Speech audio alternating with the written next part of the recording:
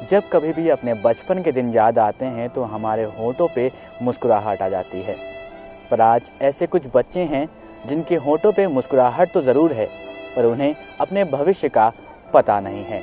यूँ तो कई कोशिशें की गई कि देश के हर बच्चे का भविष्य उज्जवल बनाया जाए, जिसके लिए मुफ़्त शिक्षा का कानून बनाया गया। पर क्या उस कानून का पालन होता दिख रहा है? ये एक अहम सवाल है। सड़कों पर ये घूमते दुकानों पर काम करते ये बच्चे, क्या इन्हें पता है कि 14 नवंबर को क्या होता है? शायद नहीं। इन बच्चों का आखिर क्या दोष है? सिर्फ़ यही कि इनका जन्म गरीबी में हुआ। इस वक्त आप दो तस्वीरें देख रहे हैं।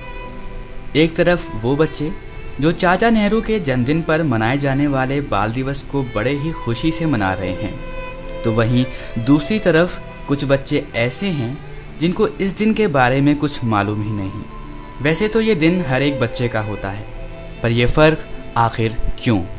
14 नवंबर, जिसे पूरे देश में बाल दिवस के रूप में मनाया जाता है।